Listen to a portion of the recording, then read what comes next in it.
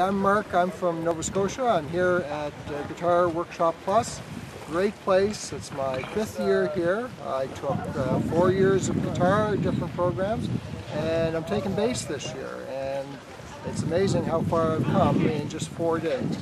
And people here are great. The instructors are first class. And I've made friends from many different places that I keep in touch with. And I would highly recommend this place uh, to anybody who's interested in having fun and learning more about music.